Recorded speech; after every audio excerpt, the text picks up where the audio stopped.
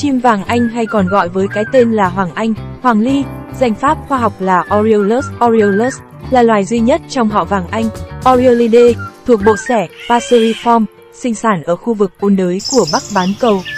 Nó là một loài chim di cư, về mùa hè nó sẽ di cư đến khu vực châu Âu và miền Tây châu Á, còn mùa đông thì nó di cư đến khu vực nhiệt đới.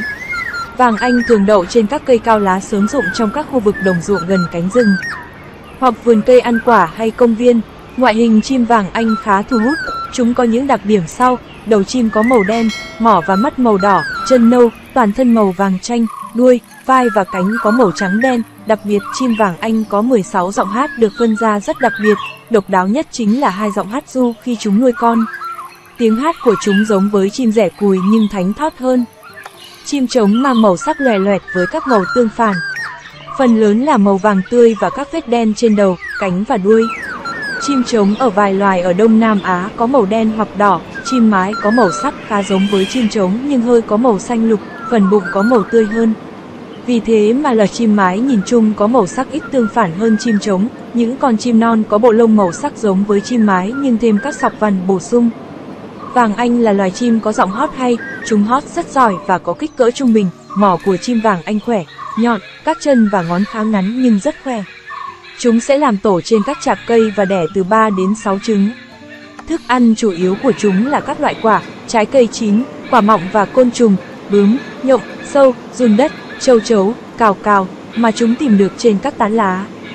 Ở Việt Nam hiện nay có 4 loài chim vàng anh đó là vàng anh gáy đen, vàng anh đầu đen, vàng anh mỏ mảnh, vàng anh đỏ. Ở nước ta, loài chim này tập trung nhiều nhất ở rừng miền Trung, miền Đông Nam Bộ.